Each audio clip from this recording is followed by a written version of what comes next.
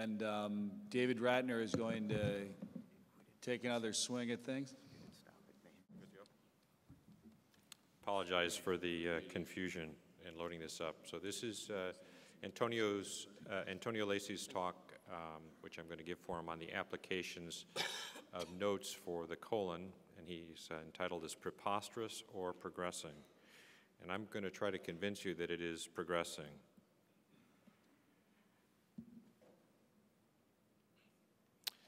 Think that uh, we go back to uh, 22 or 23 years ago to uh, Moises Jacobs, who did the first laparoscopic colectomy, and I know uh, I've heard people reference um, uh, Morris Franklin's work in this room as the first sort of natural orifice extraction uh, for colon resections. But still, two decades later, this has not been universally adopted as the optimal method for treating colon cancer.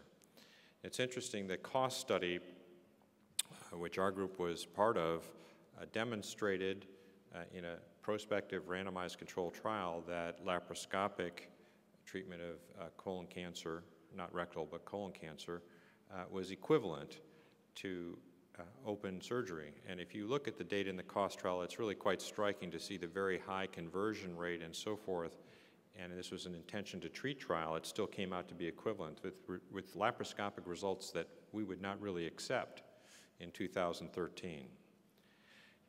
In spite of the publication of this trial, you can see how low uh, the utilization rate really was for lap colectomy in the United States.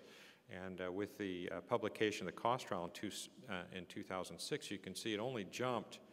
Uh, you, you could make the case that it doubled, but it's still went from 6 to 12 percent, so not uh, very much. And even in the current time, uh, only about 30 percent of colectomies for cancer are done laparoscopically in the United States.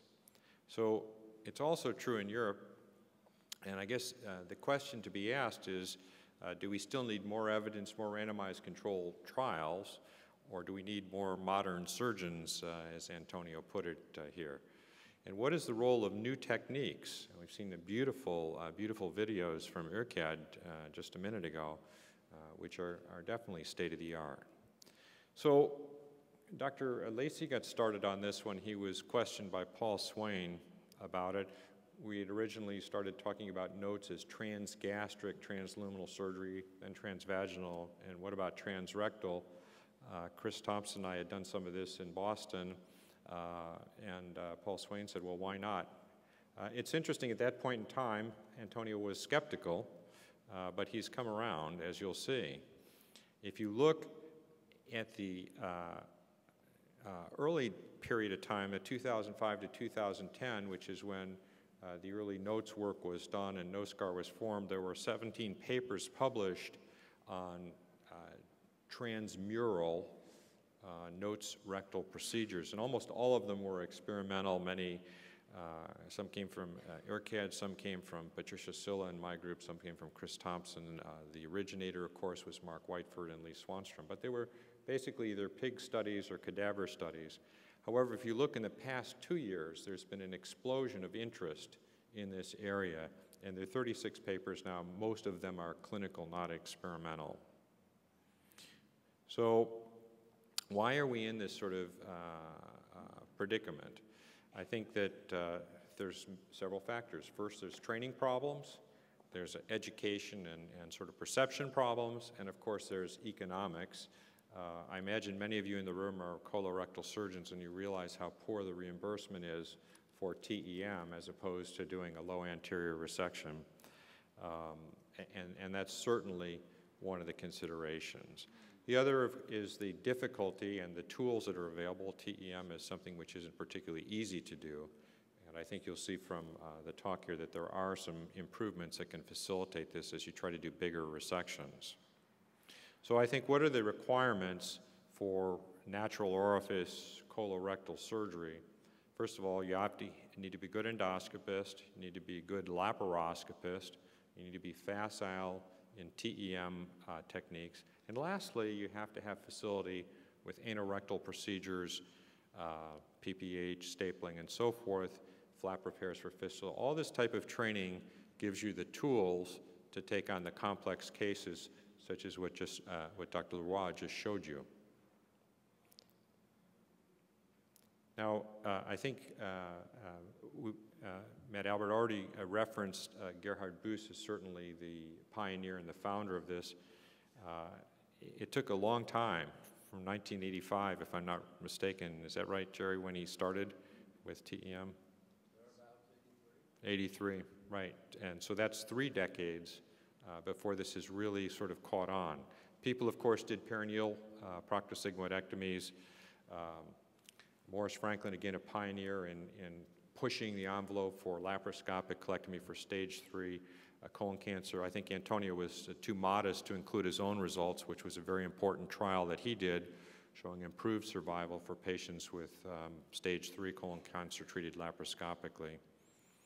Um, colorectal pull-throughs, uh, Whiteford's paper in 2007, uh, which was a, a cadaver feasibility study, and subsequently, uh, MANOS is a uh, acronym for microlaparoscopy assisted natural orifice sigmoidectomy uh, with transvaginal extraction reported by uh, Lacy in 2008, and then the uh, TEM with transgastric assistance to take down the splenic flexure, pro, uh, which was reported by Pat Sylla in 2008, and then um, the latest by Reeder uh, looking experimental study looking at the oncologic efficacy of this approach which you've seen here uh, today. Now, some of the advantages of the transcolonic uh, approach is that you're working forward, it's not retroflexed as you would in a complex uh, resection uh, with a flexible uh, scope of a large polyp. Another advantage is that you can go transcolonically up to 15 centimeters, the old taboo about violating the peritoneal reflection is, is just not true, and we do that uh, uh, routinely. It's a lot easier than going, as uh, the original notes work had started, going transgastric. It's a lot easier just to go directly through the colon. It's a straight shot, uh, so much easier to do.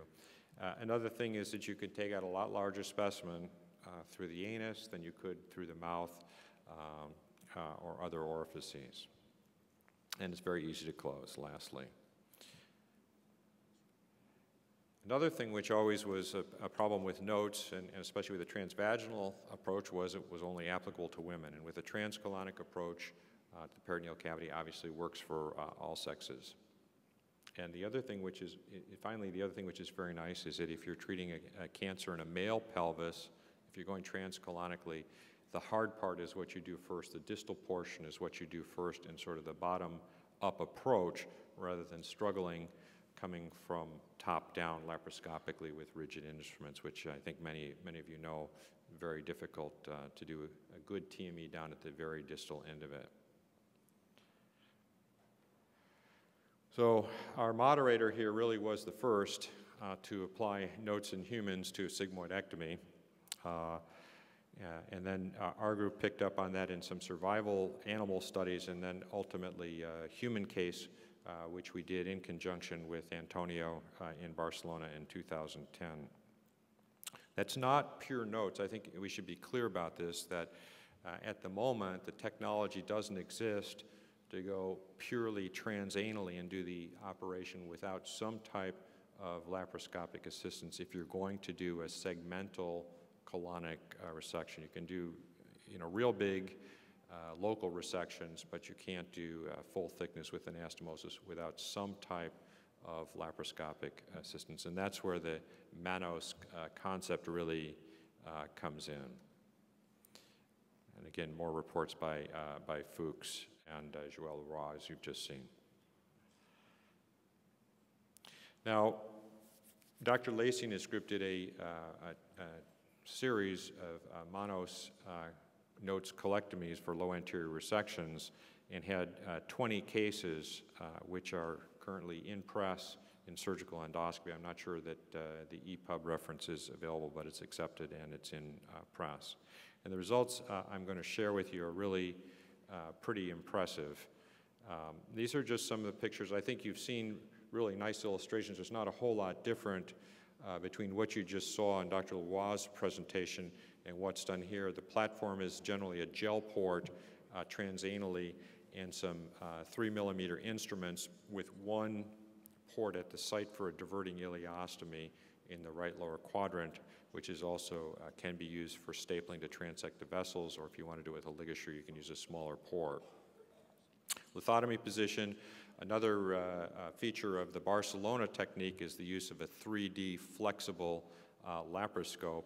Uh, and uh, unfortunately, I don't have a video showing that today, but uh, uh if you have a chance to see uh, these videos, uh, the visualization is really spectacular, and especially in a situation with straight-on viewing, it's very helpful, I think, for the manipulation inside the rectum and as you dissect up the holy plane from bottom up.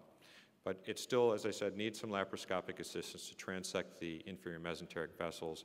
And to- If you're going to take down the splenic flexure, uh, so far I don't know of anyone who's been successful transanally to take down the splenic flexure without some type of uh, laparoscopic assistance. We've done it transgastric and transrectal, and, and to be honest, it's still very uh, cumbersome even, even to do that. It's not, not really ready for prime time.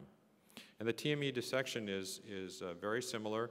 Once you're in the avascular plane, it's really very easy to move uh, from distal to proximal, anteriorly, uh, a little bit more challenging sometimes, but the same principles apply as if you were going uh, from top down.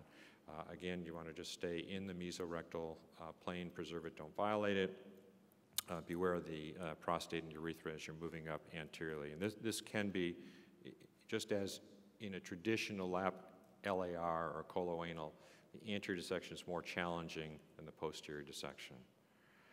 And then at the end, um, uh, Antonio prefers to do a end-to-end anastomosis in contrast to the end-to-side we just saw, but it's exactly, exactly the same technique as what you saw on the video, including the 33 millimeter uh, circular stapler uh, for the anastomosis with a diverting ileostomy. So these are the uh, cases in, in the uh, series. 13 were benign. There's ulcerative colitis, Crohn's, FAP, um, you know, pouches, so uh, big cases done this way. And then uh, in the uh, malignant cases, which have been done so far, there's been proctectomies, uh, one uh, APR, and you can see that the majority of the anastomosis are actually hand-sewn coloanal in this particular series. Uh, Some are uh, staple, but generally, uh, when we staple, we use the 33 millimeter stapler, not the 31, uh, to do this.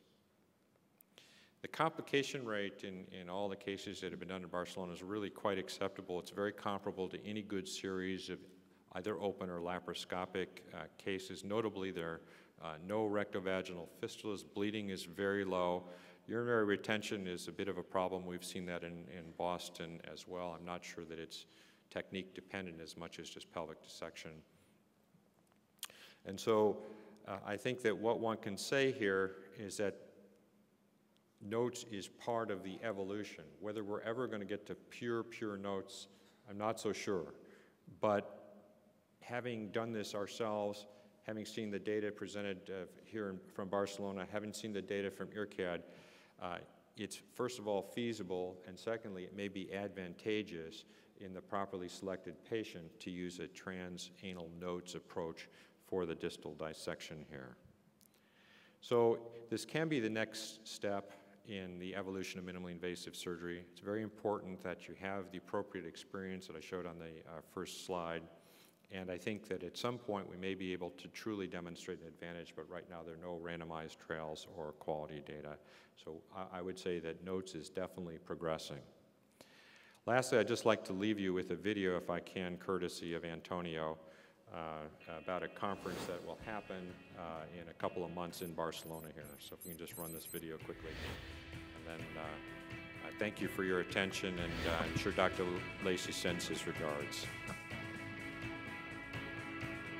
While we're looking at this uh, video, maybe you could ask the speakers to come up to the panel.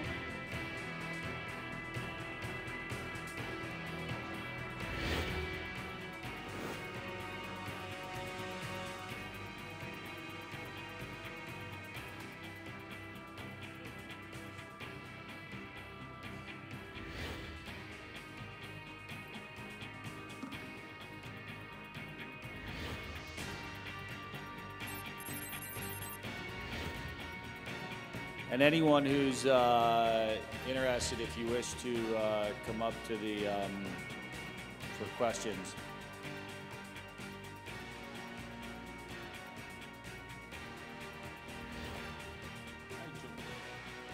And I think we can uh, move off of this to the uh, question instructions.